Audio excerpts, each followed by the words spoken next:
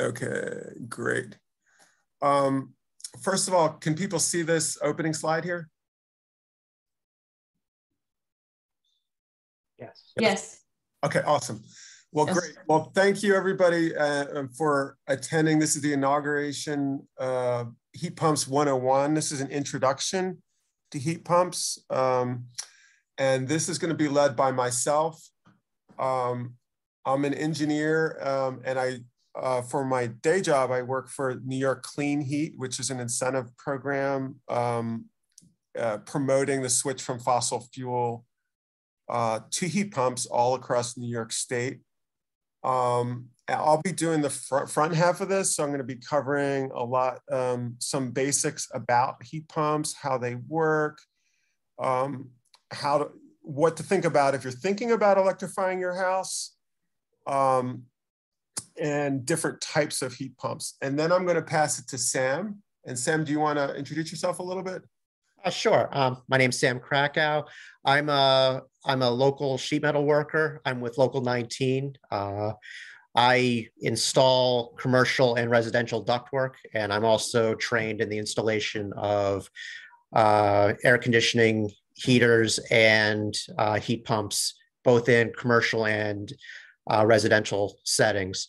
And since I do that as my day job, I thought I'd do it in my house as well. And I just finished up completely electrifying my house.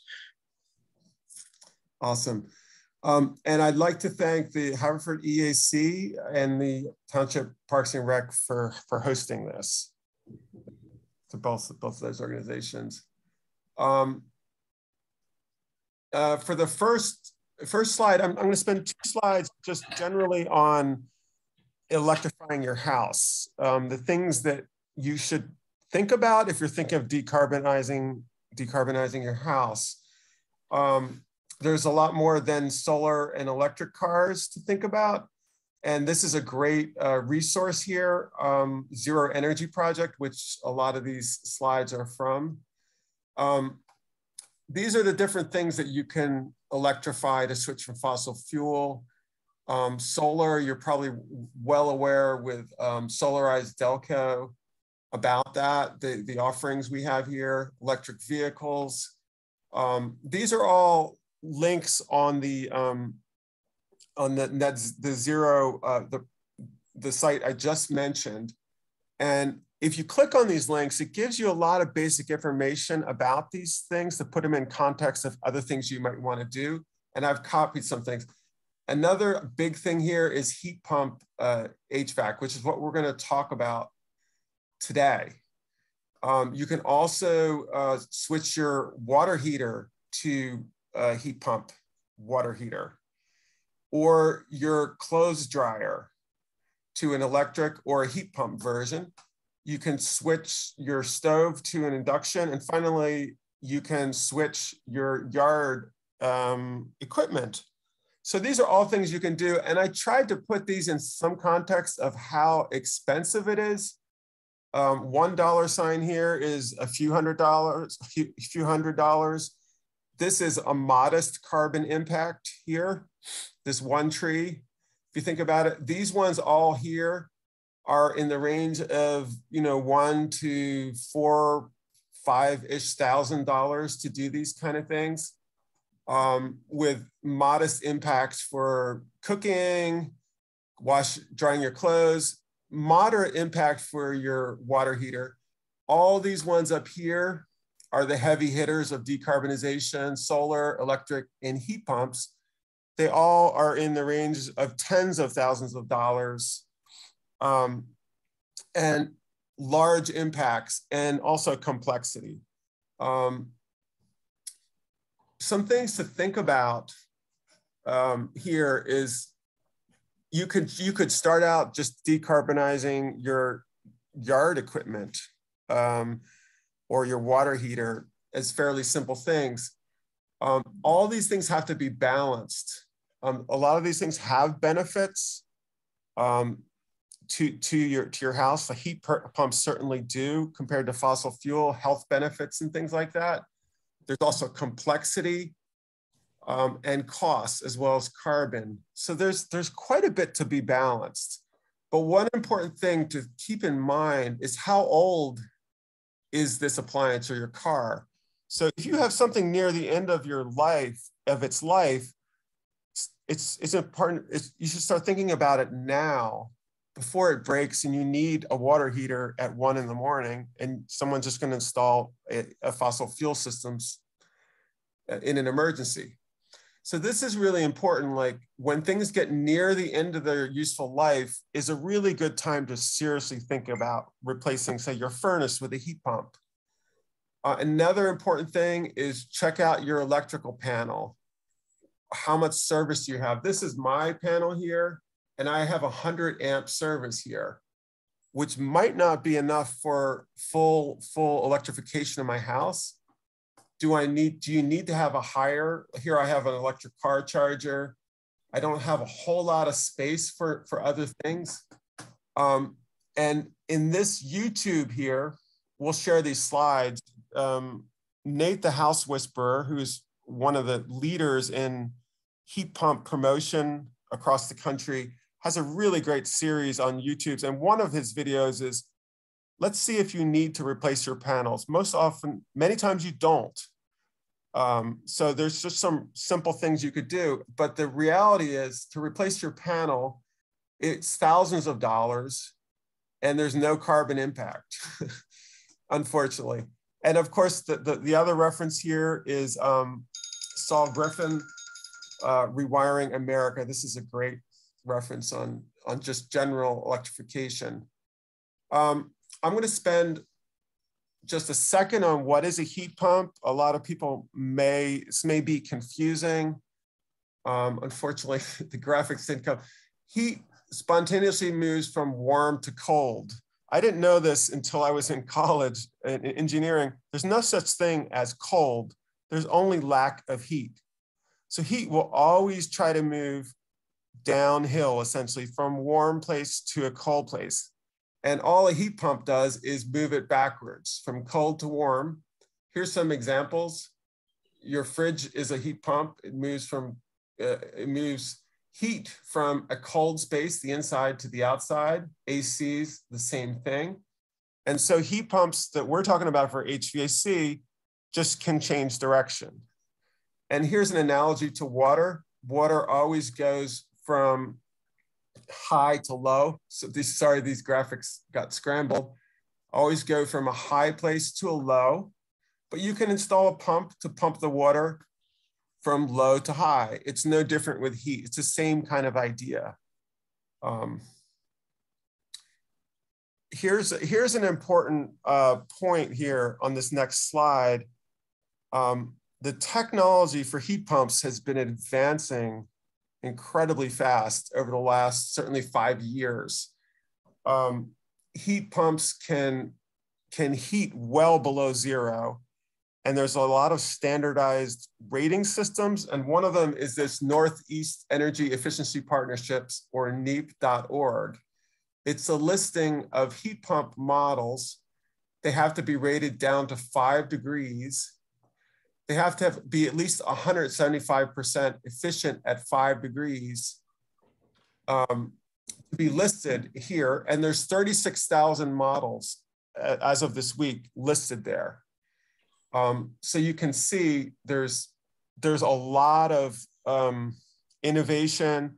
Heat pumps can, can, can certainly work well down in areas that people didn't think that they could. Um, here's an example of a heat pump, a listing um, in, in that database. This is a particular model heat pump here. So it shows at different outside temperatures, how much power it has and how much efficiency it has. This one at 47 degrees, which is kind of cool temperature, is, is 563 or 288% efficient depending if it's on high speed or low speed.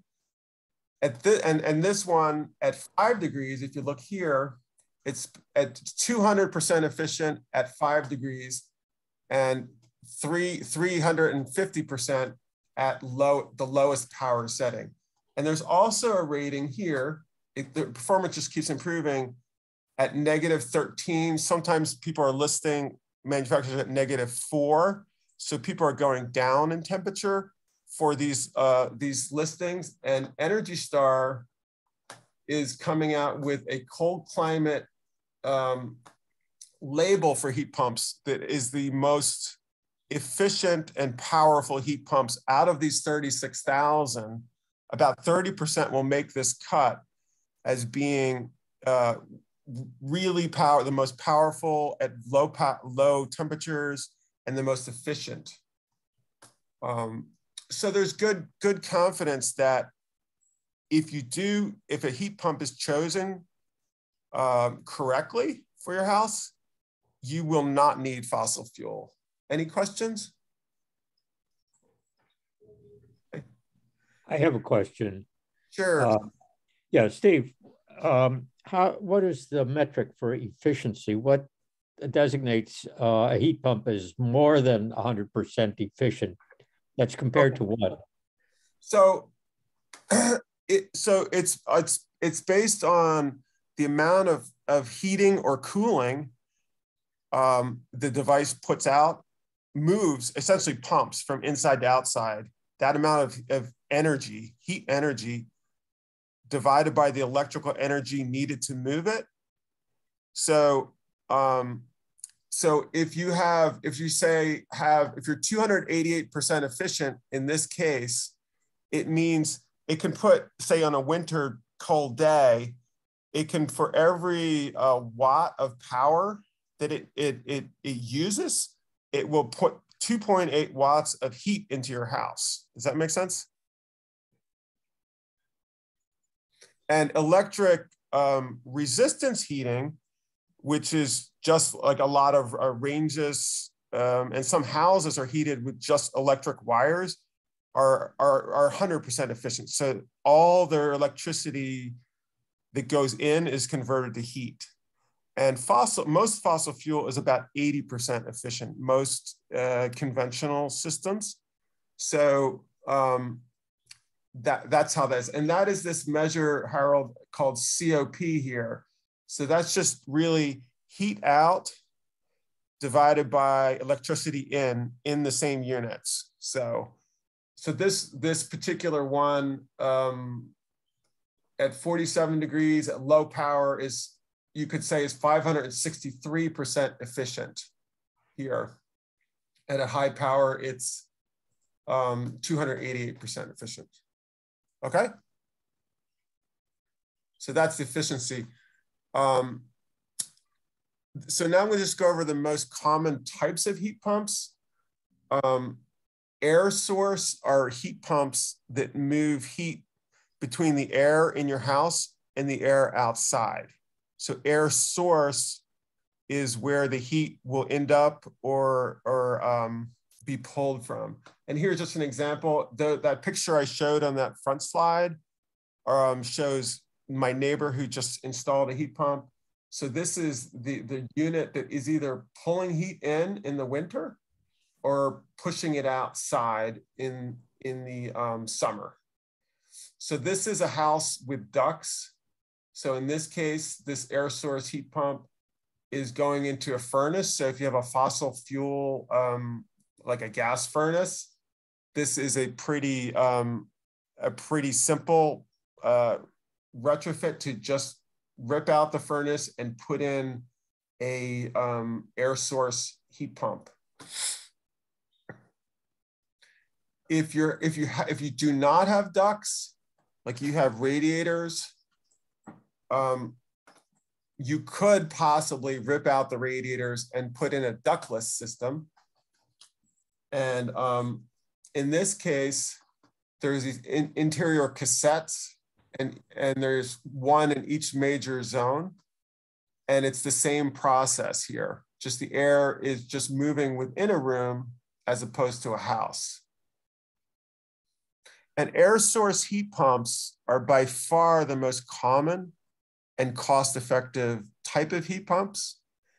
Um, ground source heat pumps, as, I show here, are also very popular, um, but they're much more expensive and much more complicated. they do have slightly higher performance than air source, but as you can tell, the technology of air source heat pumps keeps accelerating. And so they're very close in terms of performance. And in New York State, we we process about 20, 25,000 um, houses a year, and about 80% are air source. Um, it's, it's just the simplest, it's the most, um, it's the cheapest to do. Uh, but in a ground source, the heat is pulled from the house and rejected to this to a loop of water that moves under underground. So this has to be installed and, and dug out here. Um, but it's otherwise the same. Any questions? So these are the most common types of heat pumps that are on the market today in the US. But as I was saying, there's a lot of innovation. And I'm going to cover this. This is a really, uh, a, a really fascinating technology that is very popular in Europe to Asia, Europe and Asia. So this is an air to water heat pump. So um, you would have your outsides. This is the heat pump, and it's really moving heat into uh, a water, a water tank. So this water tank you can use for domestic hot water, and uh, or you can also use it to um, supply your radiators, so you don't have to rip out your radiators. And so there are companies that are just coming into America that are very, very active overseas, like Mitsubishi and LG, um, who do do these type of um, projects all over the world and are just starting to um, work in America. But this is a, this is a big, a lot more care needs to be um, taken during design because now you have the complexity of you want to make sure your house is hot enough on a very cold day, but also you have enough hot water for a shower. So it's in terms of the design and the sizing, it's um, it takes uh, even it's even a little more care than a regular heat pump. Here's another emerging technology um, I don't know if people have heard about Gradient. Um, this is a window unit that is self-installed and apparently they're just starting to take reservations now. And so um, you can um, not even lose your window for, for, for, for a heat pump. But from what I've heard and Sam just mentioned, the, the performance and the efficiency of this is not good. it's not nearly as good as those systems I just showed where they're really designed with efficiency in mind. Um, but it certainly is, it certainly is an interesting technology. and finally, this is something that um, um, is also um, an emerging technology to have district-wide ground source heating. So in a typical ground source um, heat pump, you have individual buildings that each have their own loops. But you can also have them all on the same loop. And, and, and you can also, with this type of um, design, have put the, the wells and dig up the ground in the best place. Because um, not everyone has a, a, a yard that you could put wells on. And, um, and there's a lot of interest in this for, for new construction. And um, in these cases, um, very often the builder will form a utility for, for just the heat pumps and supplying heating and cooling energy to the houses. An actual regulated utility and own the heat pumps as well. So um, essentially taking all of this out of the, the owner's hands and pricing it just below what people would normally pay for your isolated uh, HVAC, fossil HVAC. So that's pretty, that's pretty exciting. Um, and there's some pilots going up all over the country for that. Um, any questions? I'm, I'm, uh, I just covered some very high level uh, material on heat pumps and the different types of heat pumps. Um, any questions before we move to Sam? Um, this isn't really a question as much as I just wanted to get your your explanation. So in the very first slide, the opening slide, you showed mm-hmm. the look looked like the heat pump and the air conditioner. Mm-hmm. Um, so like in my house, I have a heat pump that you know it works as the air conditioner too. Um, can you describe what's going on here? Well, in this case, um, this was this is um, a house flippers bought the house next to me, and they installed new HVAC in areas that did not have it, like the porch and the upper floor. So they put this is a this is a mini split heat pump so they, they this one, um, the refrigerant goes up here to those interior cassettes that that we that I showed you. This is actually an air conditioner condenser. This is only for air conditioners. So they have a furnace going through the house um, with duct work, and so this supplies cooling to the um, the rest of the house. But this also could be, you can't tell from this picture, this could be also an air source heat pump. This could be supplying heating too. And this is new equipment and it would be crazy for these people to rip it out now and put a heat pump in, but you could take this off and just put in an air source um, heat pump that would do the whole house for this in this case. Does that answer your question? Yes, thank you. So if you have something like this, it's probably the simplest and, the, and you have an air conditioner uh, furnace combination and one or either is getting old you should really think about it's a great time to think about heat pumps. Um, so just again just to drive home there's a lot of things that you can electrify in your house. And then heat pumps can definitely meet any challenge of cold that we throw at it. Um, even up in Maine, there's a very popular program, just like New York State up in Maine, that's it's uh, driving electrification up there. In Canada, um, and there's a lot of different types. So I'm going to go now to some real world examples and uh, someone who's actually done it. And uh, Sam, take it away. All right. Well, thank you again for uh, inviting me. Um, I never thought I'd actually get to present this because I always thought of myself as that crazy guy in the neighborhood that was doing all sorts of home projects. And then I get this invitation when I was uh, on the EAC uh, by by Steve to take a look at my house, and I said, "Oh, this is great." Uh, I finally get to show it off a little bit. So um, I told you a little bit about my background. Um, I'm a union sheet metal worker. I've been doing this for the past 10 years. Uh, I install commercial ductwork. I also know how to deal with the units, heat pumps, uh, heaters, air conditioners. And I have a personal motivation to do this because I'm a very, very strong environmentalist. Um, and I thought, what a better place to do it than my own house uh, in order to try out mistakes, uh, see what would happen. Um, rather than experimenting on somebody else's house. And I found out to be it to be a very interesting experience. And I have a very tolerant wife. So uh, she was willing to let me do it. And she has her own hobbies, and I tolerate her stuff. So this is my stuff. This is what I like to do. Um, and I'm also um, driven by the fact that I believe that there's much more that you can do than your, your standard buy a Tesla, and I've done my part for the environment. There's so much more that can be done. And I think this is one way that has not been expressed enough.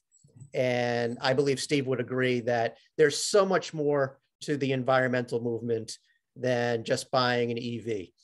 Um, and heat pumps and general electrification is definitely the way to go. And if there's one thing I could definitely hammer home is you don't have to do everything. But as things age, it definitely makes sense to look into this as you're um, thinking about changing out a big expensive item in your house. And heat pumps are one of the biggest ways to go because um, when you're dealing with a heat pump, you're dealing with something that Steve has already expressed. You're increasing the efficiency of an item that ordinarily would work at 100% efficiency and boost it up to 300 or 500 or 600% efficiency because um, when you burn something, you have a lot of wasted heat, and that's not doing anybody any good.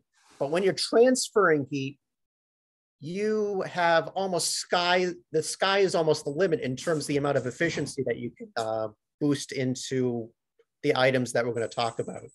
And they're just a lot safer. So we'll move on to my experience and we'll, uh, I'll, I'll see if uh, anybody can gain any enlightenment from what I've done. So next slide. Okay, so this is my house. You would never think anything out of the ordinary about it other than the fact that it's got an extraordinary garden uh, in the front or back. It's a 1,200 square foot uh, twin house. If you know where the intersection of Route 1 and Route 3 is, I'm right behind the old LA Fitness. Um, if you drive by this area, it's just another unassuming uh, row house in Philadelphia and you'd think nothing of it. But this is a very special house now, and I am very proud of it. Um, and I worked on this piece by piece. It was about a three-year project. So um, let's go on with uh, what I did. Next slide. So the first thing I did was when I went to the rec center one day, they did a presentation on uh, Solarize Haverford. And I had looked into solar in the past and every time one of those people called up and I and they said, "Do you want to get solar?" and I told them I had a flat roof, they said, "Well, go screw yourself. We can't do it." Um, so it, it really drove me nuts. And then when I went to the rec center and they talked about Solarize Haverford, uh, well, Haverford, the Delco Solarize, um, I told them I have a garage out and back, and uh, it's got a sloped roof, and it also uh, has sun because my house has a big tree nearby and it definitely wouldn't be able to get solar otherwise because it has that, that flat roof and the tree. And they said, sure, we'll set you up. So the guy came down, he said, we can do it, but you got to trench out uh, a line to go all the way to the garage so that we can have access to the garage and get it to your main panel.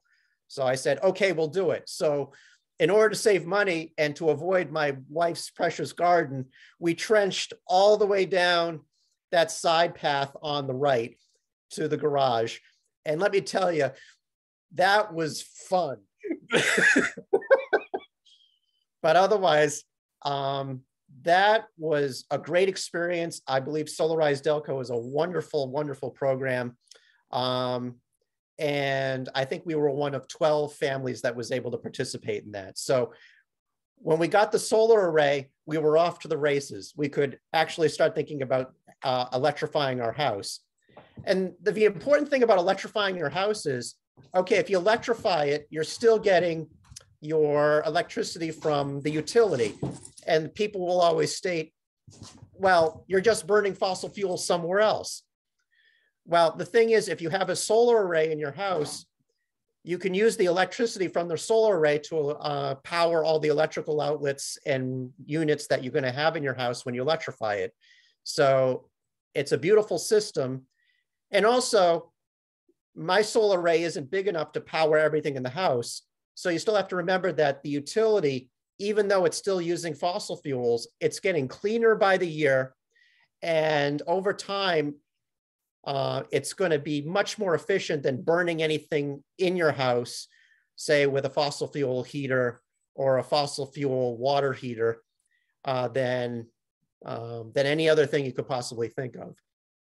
And I think it's only a matter of time before this becomes the mainstay of what needs to be done in order to deal with the uh, issues of climate change. Uh, next, uh, next uh, slide. So this is my electrical panel. And we talked about the fact that if you're going to have all these electrical units in the house, you're going to have to have some space for it. And unfortunately, I did have to upgrade my upgrade my electrical panel. I went from a 100 amp panel to a 200 amp panel. Um, yes, I did this all myself. Um, don't go ooh and ah. Uh, a lot of YouTube videos, a lot of asking questions on construction sites from, from fellow coworkers.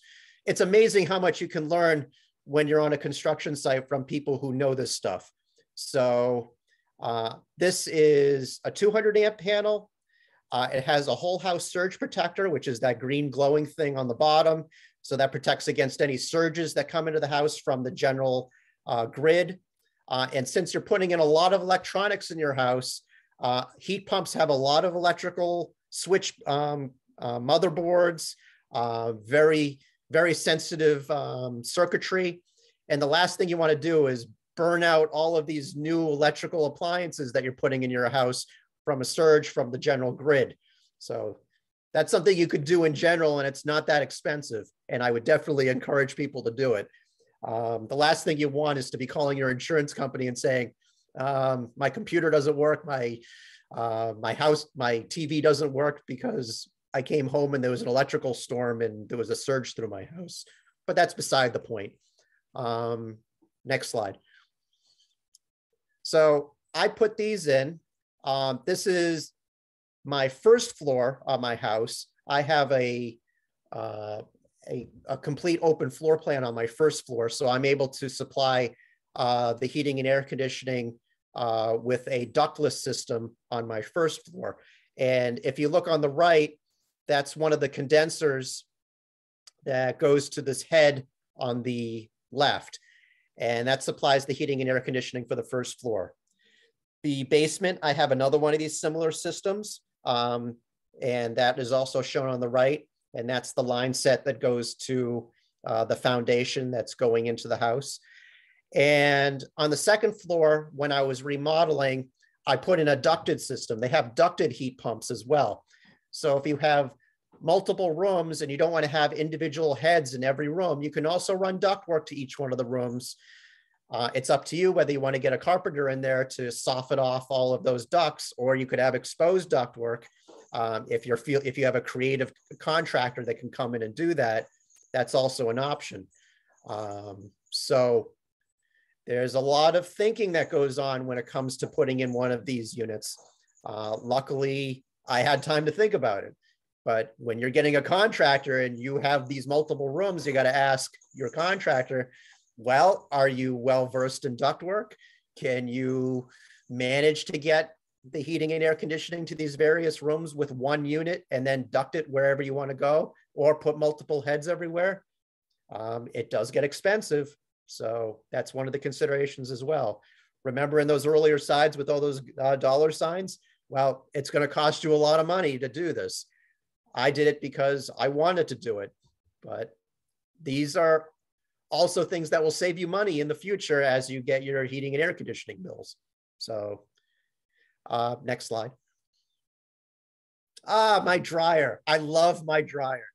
Uh, I got a heat pump dryer the US is horrible when it comes to getting a heat pump dryer. I don't know what it is with US manufacturers. I could only find one. I think Whirlpool comes out with a combined uh, heat pump dryer. Uh, the dryer that I have in this picture on the on the right, it's on the top. That's from Miele. It's a German manufacturer. Um, it's not as big as most of the American appliances in terms of capacity. Uh, but it works just as well. Uh, my clothes do not get beat up nearly as much as with an electric dryer or a gas dryer. Um, it takes a little longer to dry um, because a heat pump will take maybe about an hour and a half, an hour and 45 minutes to work. But I, this has got to be the best dryer I've ever had. Um, I love this thing. Uh, if I wasn't married to my wife, I'd marry this dryer. so, so um, it also doesn't have the um, a duct, right? You don't need a duct, and there's no chance of fire, obviously, too. Correct. There is no ductwork from this. The only um, right. type of attachments that you need, this one actually runs off of 110, 120 um, volts, um, not the heavy duty 220 that you're used to with an electric dryer. And you know, with uh, an air conditioner, you had that constant drip, drip, drip uh, from your unit. uh, and that's the that's the humidity being sucked out of a room when you have your air conditioning on. Well, this is the same thing. Uh, the condensate from this is take it take it transfers the heat uh, and then sucks the water. And, and, and, and one of the byproducts of this is water. And the water I ducted through, uh, I put into a drain line, and that drains into the plumbing in the house. And there's there's no other things you have to attach. All you need is a way to drain the thing. That's it. So next slide. Ah, now this is a, a different type of hot water heater. I installed this last year. This is by Sanden. You're not going to find this um, very commonly in the United States. This is an air. This is a air to water heat pump. Um, with average uh, heat pump water heaters that you're going to find in Home Depot or Lowe's. No, no, only Home Depot sells it. Like uh, EcoTerra, um, I believe that's by Rheem. Uh, they have the uh, compressor on the top of the unit. And Steve and I were talking about this beforehand. When you put one of those in your house, you're sucking the heat out of the air and dumping it into the water. That's essentially what you're doing in those in, in an air to water heat pump. The problem is during the winter, you're sucking hot air out of your house. But where does that hot air come from? It comes from your heater. So you're you're robbing Peter to pay Paul in order to get your hot water in a hot water heat pump uh, when you're thinking about fully electrifying your hot water usage. So with this unit, the one on the right, that's the outdoor condenser. And that, and say during the winter, it's extracting ambient heat from the cold, from the air outside, even when it's down to negative 15 degrees Fahrenheit. And it dumps it into that tank, which is on your right, right here. That's the one that's labeled Sanden. And these things, that's the smallest tank you could possibly get. But there's one that's twice as big. And some people actually have two of those tanks together, and that can heat um, radiant tubing that can go throughout your entire house and heat your house in the winter. Um, it gets more efficient during the summer because there's a lot more ambient heat in the air when it's hot and sticky and disgusting outside. So this thing even though it's more expensive, I don't have to rob Peter to pay Paul when I'm heating my house in the winter. And uh, another thing about this thing is that as a refrigerant, rather than using 410A, which is a uh, a very very potent greenhouse gas if it leaks, this thing only uses carbon dioxide as a refrigerant. I know it sounds unusual that I'm using carbon dioxide as a refrigerant because aren't we trying to get rid of carbon dioxide uh, for the, uh, in order to avoid the, uh, the greenhouse effect? Um, I mean, climate change, but it's trapped within this unit. It's not going anywhere. It's used as the refrigerant. Um, but say it, it leaks and it breaks for some un unknown reason, it's not going to cause much problems. But in, a, in, a, in a, the other heat pumps that I have, it uses 410A, and that's a very potent greenhouse gas if it leaks. And if it's installed improperly and it leaks, God help us, you've lost the point of even electrifying your house because you're spewing out tons and tons of refrigerant that's much worse than your most gas guzzling, um, fuel emitting car that you could possibly imagine. So, next slide. Uh, last but not least, this is my induction range. Uh, I got this baby off of Facebook. Some guy didn't want to have this induction range because it didn't have an air fryer attachment to it. And he was willing to sell it for a thousand bucks. And I said, I'll take it because this thing usually goes for $2,700.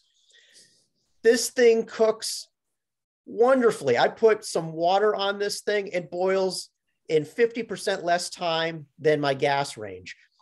And um, it's easy to clean. It doesn't give off any gases when I'm cooking it, cooking with it. I love it. Um, I can't really say anything else about it. It was the last step in electrifying my house. Except uh, your cat, your cats love it too, right? Yes, yes. When they walk on it, um, luckily there's a control. Um, there's a control lockout, so the cats can't turn it on. Um, but otherwise, um, they can't get burned either because it has to be metal, a certain type of metal. It has to be stainless metal, uh, or it has to be a magnetoferrous metal of some sort in order to allow for the magnets to heat the water or whatever happens to be in your pots or pans when you're cooking with this thing. Um, aluminum does not. So I had to get rid of some of my old pots. What a loss. All right, next slide. So is it worth it? Economically, yes, it is if you can afford the upfront costs. And that's the problem with electrifying your house. The average person does not have the resources to do what I did because it's just so much money to put up front. And the um, the benefit, the credits and the economic incentives from the federal and state governments in Pennsylvania, there's nothing. At the federal level, it's peanuts. Um, that you really don't get much in terms of a credit on your tax returns in order to do what I did. It's only a few hundred dollars for insulating your house or putting in a heat pump or stuff like that when the costs for these things are so high, but you save on the back end. When you get my, when I get my heating bill and my, when I get my electric bill now, um, I get 65% of all of my electric covered by my solar panels throughout the whole year. So on a non heating and air conditioning month, my electric bill is about 30 bucks. On a heating or cooling month, usually no more than 60. Um, and you have and that's no, it. No gas bill too. No gas bill. I have absolutely no gas coming to my house. The PECO just cut off my gas to my house last week. I finally finished it up. So there's no meter on my house. So for the heat pumps, I have three heat pumps. Um, just the cost for the material was about $12,000.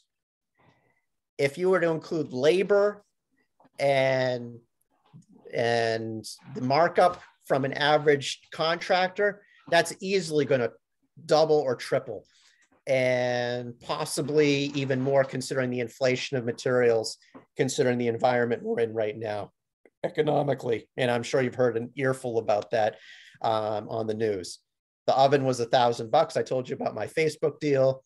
The dryer, the Miele was about 1500 bucks. I checked that just recently. It hasn't changed. The solar after uh, Solarized Delco came in and did that and the solar and the federal tax credit, which is being phased out, unfortunately, and hasn't been re-upped by the federal government. And chances are it won't, considering what's going on in Washington. Um, that would be about $12,000 when that federal tax credit is phased out. Um, the electrical panel, when I did that, it cost about 12, uh, 2,500. With labor and materials and everything, you're looking at about $6,000. Um, the water heater, just with materials for me putting in was about $4,000. That could easily be about seven or $8,000. So my total was about 21,000. But like I said, that could easily be two, two and a half times with inflation, materials, costs, markup, all the usual stuff. Next slide. So, what are the considerations? Oh, uh, up until this point, have there are there any questions? Anything that you can possibly think of? that you need answered? Sam, um, I, have really, really enjoyed this. Um, one, one um, comment. Um, so I have uh, also a whole house um, surge protector, um, and we did get uh, lightning just down the line from us. That and so it it blew it's i think it actually blew twice now we've been pretty lucky as far as lightning goes around my house and um no i guess it just blew once blew once the um and i wondered if your surge protector is before the the the panel or after? It when the electricity when the line comes in from the street, the first thing it encounters it the breaker is the closest one to the street line.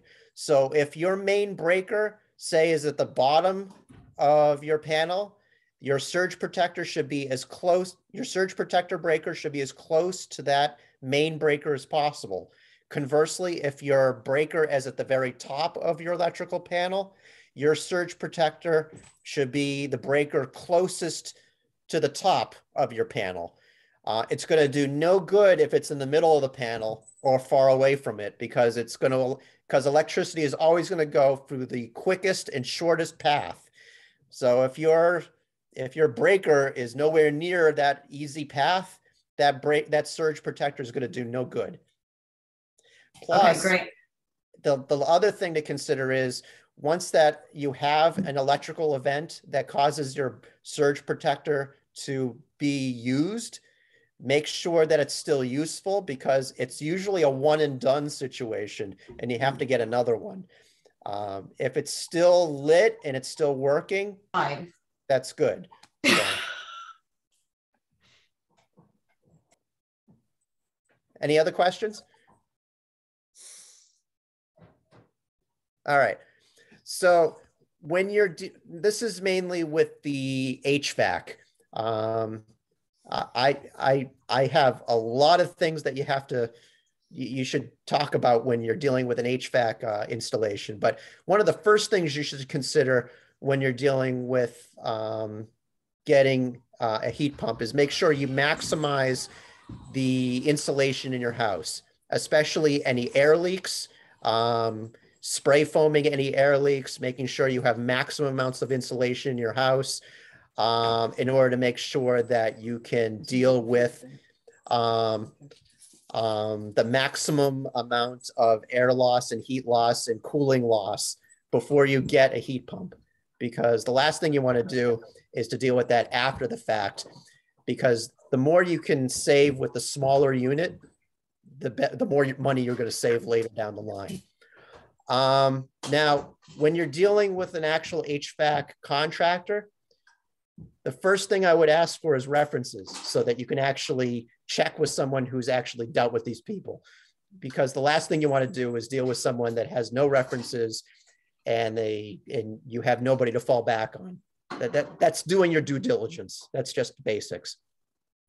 Now, when you're putting in a heat pump, um, the things you want to ask a contractor are a um, when you when you're doing this, um, th this gets a little technical, but I'm, and, and, I know we're going through the uh, weeds right now, but it's very important to ask, and it'll probably give them a little bit of a shakeup. Is do you do a triple evacuation when you're putting in your unit? Because the one thing about the refrigerant when it's going through these lines from the condenser outside to the head that's inside and provides your air conditioning or heating is that this refrigerant cannot interact with any type of air component. And you have to get every bit of air out of these lines in order to make sure you don't have any acids building up and corroding the condenser, uh, the com condenser components, because they can put it in, not do uh, an evacuation of all the remaining air in these lines. And then a few years later, your unit dies because it's been eaten through by acids formed by air that was in those line sets. Um, and if they say they don't do a triple evacuation or they don't even know what a triple evacuation is, or they just breeze through that, kick them out the front door. They're not worth it. They're going, you're just going to be wasting money. Uh, another thing to make sure is, is when they're putting in the units, make sure that they're holding an evacuation to 50 microns for an hour. What does that mean? It means the line sets do not have any leaks. These things have to be leak proof. If you have refrigerant being spewed out into the atmosphere, these things are worse than the biggest Humvee that is on the streets. Your house is not going to be the magical environmental um, wonderkind on the block, it's going to be a big environmental nightmare, spewing out gases that are destroying the environment, period. So you're wanna, you want to ask this. Another thing to ask is, how do you measure the size of your unit? When you bring that unit in, how do you know it's the right size? Do they go through and find out how much insulation's in the house? Do they find out if your windows are south facing or north facing? Do they check to see if you have any air leaks in your house? Um, you, you have to know whether they're doing their due diligence to put in the right sized unit. Uh, because the last thing you want to do is in the summer have a unit that's oversized and it shuts off when your house is cool, but it hasn't wrung out all the humidity in your house. You're going to get that cold, clammy, disgusting, humid feeling in your house because uh, typically a, a, an air conditioner should be running almost constantly when it's on to be constantly wringing the humidity out of the air. It's not providing cold, it's providing dehumidification. It's not something that we should be taking lightly, and neither should your contractor because you're putting down a crap load of money for this unit and you should be getting quality. And these people who are coming in are treating some of these installers like garbage. I know I'm talking a little union here, but they they they pay them 15 20 dollars an hour. These people get trained that these people are intelligent. They're very very smart. Um, one of the things that you'll find on a construction site is you think we're a bunch of burly cavemen, but we've been trained for years through our apprenticeships and we know the ins and outs of what we do. But some of these non-union outfits that come in and put in units, they treat their employees like garbage. And you know, when they're putting in their units, they get, if you're treated like garbage, they're going to treat your time like garbage. so make sure that you're getting quality when you get your unit in. Um, I know that's, I'm getting on my soapbox, but make sure that you're doing your due diligence. And it can be tough, but it's worth it in the end. Um, another thing is when you're putting in your unit, especially for the heat pumps that are providing the, uh, the heating during the winter, make sure these units are rated to a very low temperature because sometimes they have backup elements, uh, like uh, we call them toaster elements, where it gets below a certain temperature, maybe maybe gets below 20 degrees Fahrenheit, and the refrigerant can't cut it. It can't extract any more heat out of that cold day outside and the unit gets tired. And so the little computer inside says, okay, we can't deal with it anymore. Switch on the toaster, and then your electric meter outside is going to start going like crazy in order to provide the electricity for that toaster element that's inside your heat pump that's just providing electrical resistance heat rather than uh, heat transfer through your refrigerant lines. Those refrigerant lines will stop and then you're going to have this little toaster element that's going to turn on, and you're going to have electric bills that are going to make your eyes pop. So keep that in mind as well. Um, I already talked about the whole house surge protector, um, the GFIs, the AFIs. I've probably blown through a lot of time. This thing's getting long. So um, considerations, uh, water heater, I already talked about that. I love Solar Delco, the oven, never end. Okay, yeah, that's it. That's pretty much it. okay, we are almost at time. Any any questions or comments from anybody? We will send out a link to people that have registered uh, to the YouTube and um, hopefully we can send out these slides too if it'd be helpful to the to participants. Any comments or questions? I have a comment again. Um, I think, uh, Steve, you had um, talked with someone who had a low, a low temperature heat pump installed by a, a local contractor.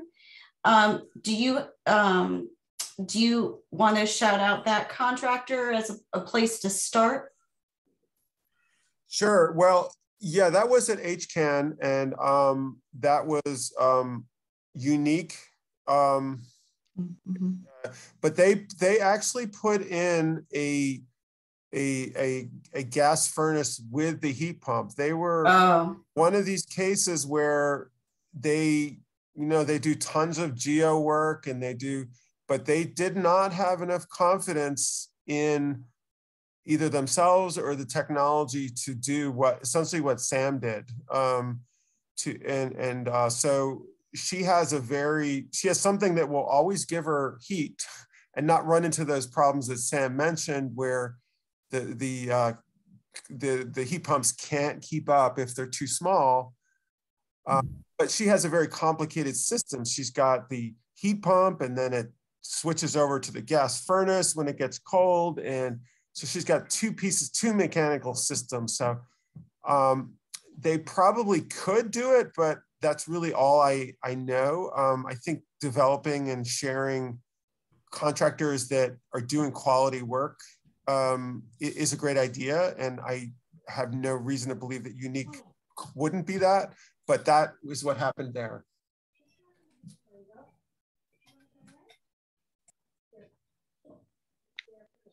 So there was a question on the chat that somebody asked to get access to the phone so they could ask a question. And I just wanted to say thank you. Um, we have a, uh, oil, oil system that heats a set of radiators and it also has this different kind of water system. So you're really helping me understand that I have a lot of research to do. So thank you very much. I, and I will say that oil is the most cost effective to go to heat pumps. You will definitely come out ahead. Um, I'm sorry, I just noticed some people have been waiting in the waiting room. Okay, well, thank you all for attending. Steve, can I ask a question? Sure. Yeah, um, could you speak brief, briefly to the comparison of, um, cost for, like, if we're replacing our natural gas, as we know, natural gas is very low cost. But is there any like metric that you can reference that says if the, if your heating cost is this much on natural gas, it might be this much with a heat pump and based on the coefficient? So I know that's fairly general, but is there any sort of um, measure to help a consumer understand what to expect when their what their bills will be after they get something like this installed? Um, the the the rough calculation I've done is is it'd be about 40% more expensive for to go to heat pumps from from from natural gas.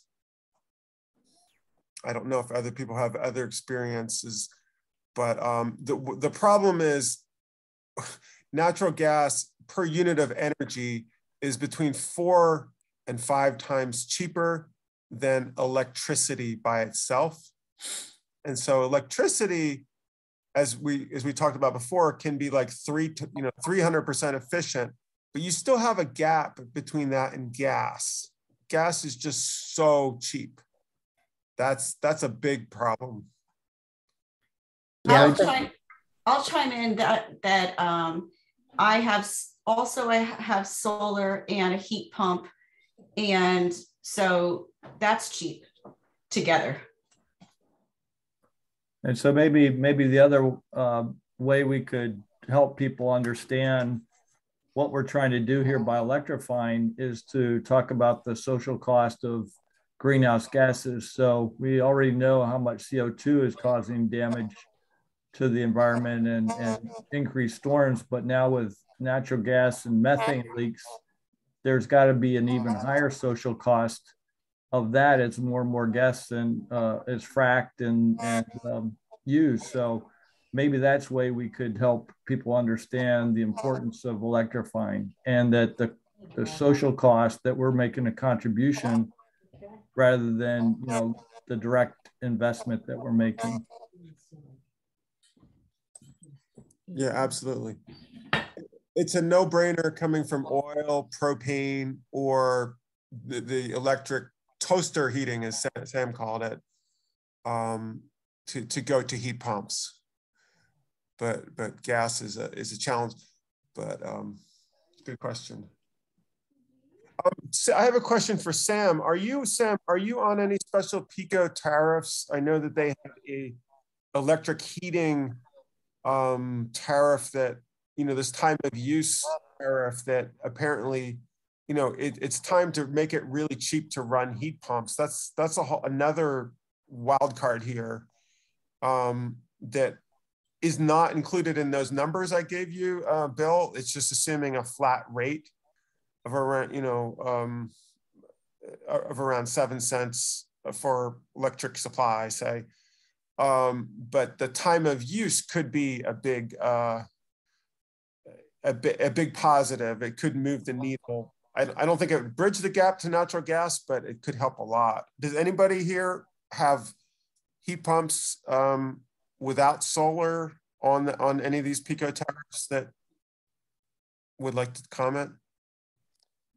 Well, on, the point when it comes to um, time of use, I don't necessarily do it because there's no need for me to get the benefits of it because I'd have to run my heat pump in the middle of the night in order to get the reduced rate. However, um, those types of uses for time of use with PECO, it's more beneficial for, say, if you're charging your electric car, say from midnight to six in the morning.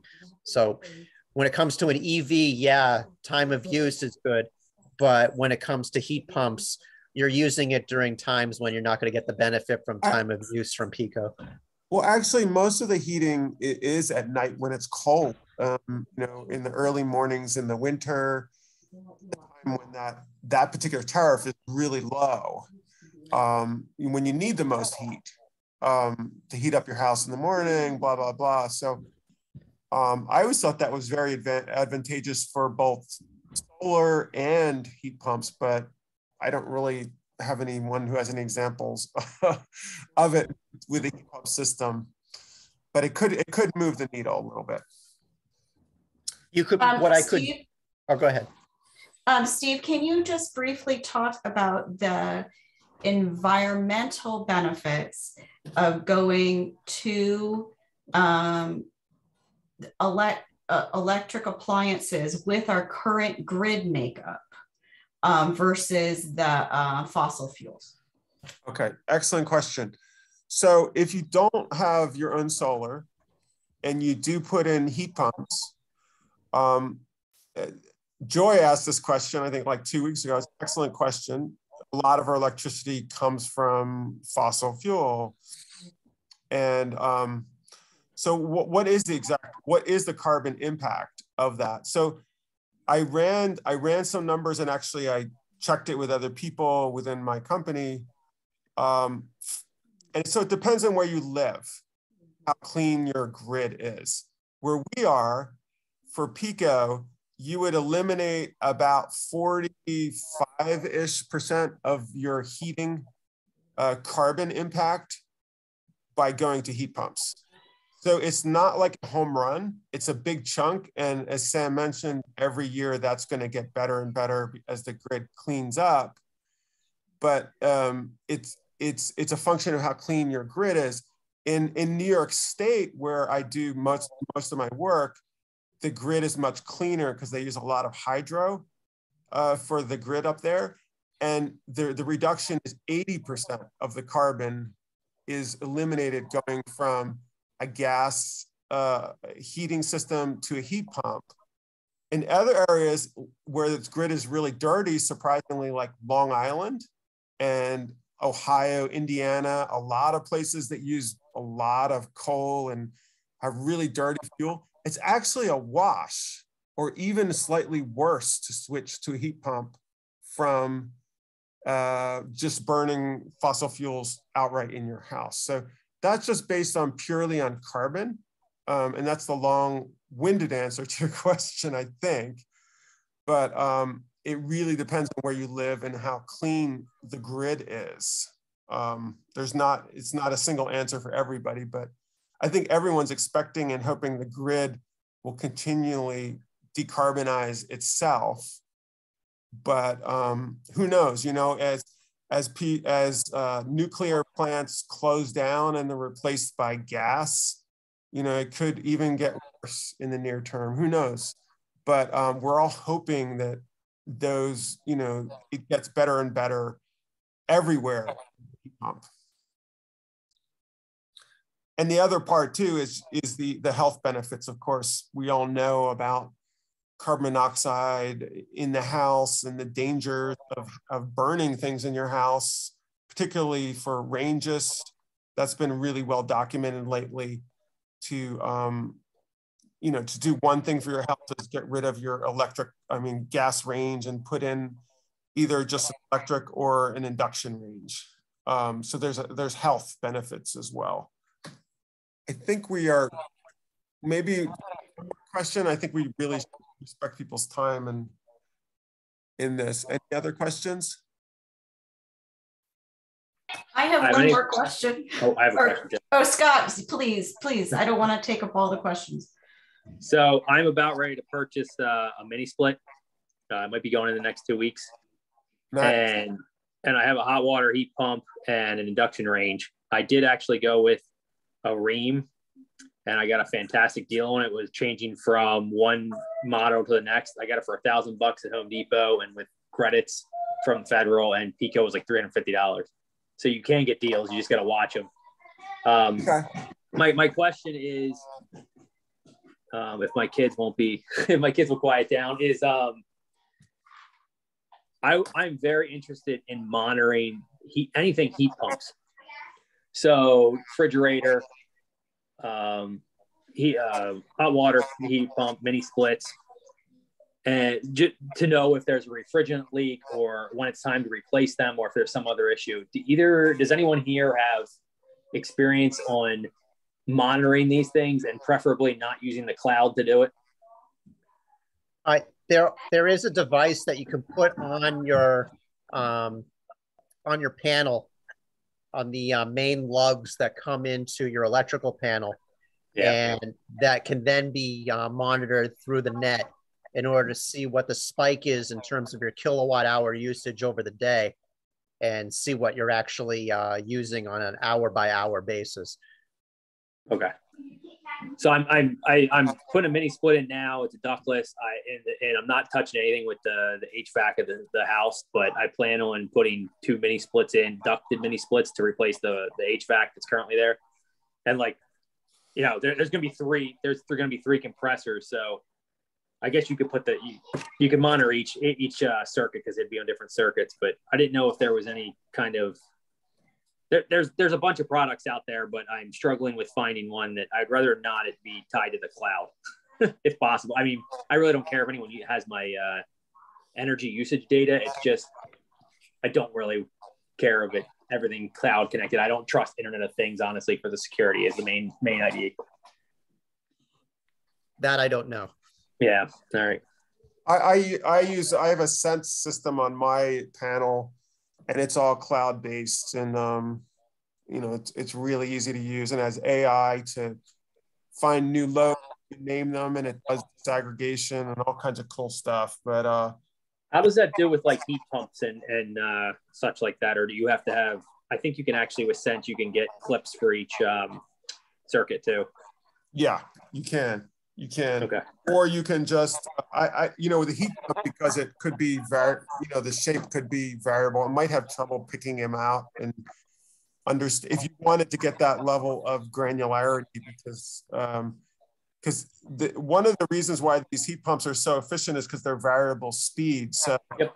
you have three different compressors and they could all be off and running at different speeds so you probably would have to have separate clamps to monitor them um you know effectively so Okay. okay I think we should probably break here. I'm going to stop the recording.